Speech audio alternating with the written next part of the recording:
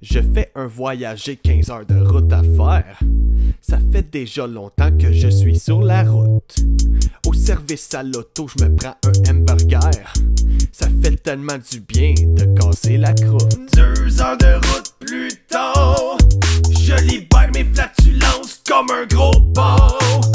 La nourriture est descendue, ça cogne à la porte de mon trou de cul. Je dois trouver une place pour chier. Je vois au loin un resto déjeuner. J'arrive dans le du restaurant.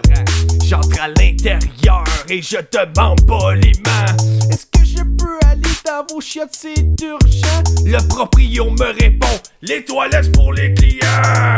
Hey!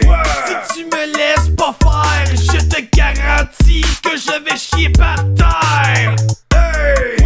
Pas question que t'entres dans ma salle de bain. Tant que t'es pas un client, je m'en crisse de tes besoins. Tout chier à terre? Un peu, ouais.